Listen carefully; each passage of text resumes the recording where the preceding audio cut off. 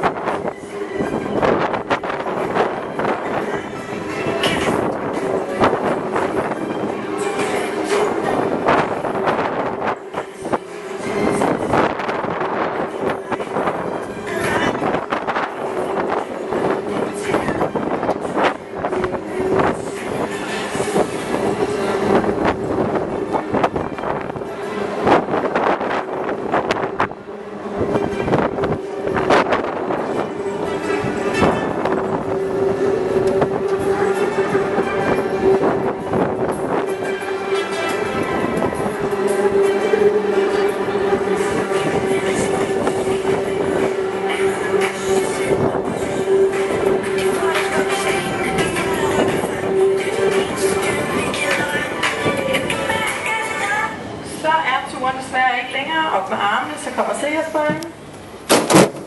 Rum.